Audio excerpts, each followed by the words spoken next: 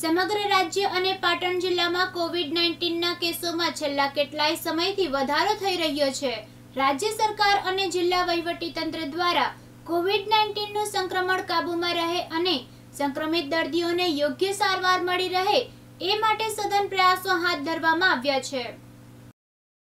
ટ્રીટમેન્ટની સ્ટ્રેટેજીથી corona મહામારી અટકાયતના પગલાં લેવામાં આવી રહ્યા છે.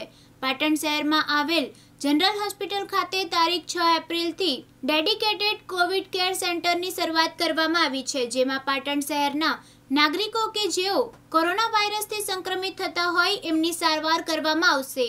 મુખ્ય જિલ્લા ચિકિત્સક અધિકારી ડોક્ટર અરવિંદ પરમારે આ અંગે વાત કરતા જણાવ્યું હતું કે સિવિલ હોસ્પિટલ પાટણમાં ત્રીસ બેડ ધરાવતું અદ્દન સુવિધાયુક્ત કોવિડ કેર સેન્ટર કાર્યરત કરવામાં આવ્યું છે, જેમાં અઢાર બેડ ઓક્સિજન, સુવિધાયુક્ત છ બેડ આઈસીયુની સગવડવાળા અને છ બેડ સ્ક્રીનિંગ બેડ એટલે કે સામાન્ય કોરોના લક્ષણો ધરાવતા દર્દીઓ માટે છે.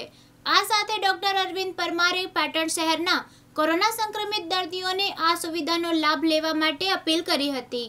અત્રે એ બાબત ઉલ્લેખનીય છે કે ગત વર્ષે કોરોના વાયરસનું સંક્રમણ વધતા સિવિલ હોસ્પિટલ ખાતે ડેડિકેટેડ કોવિડ કેર સેન્ટરમાં કોરોનાના કુલ એકસો બાવન દર્દીઓને સારવાર આપવામાં આવી હતી. આ ઉપરાંત અહીં નિયમિત રીતે સરકારશ્રીની સૂચના પ્રમાણે કોરોના પ્રતિકાર રસી આપવામાં પણ આવી રહી છે.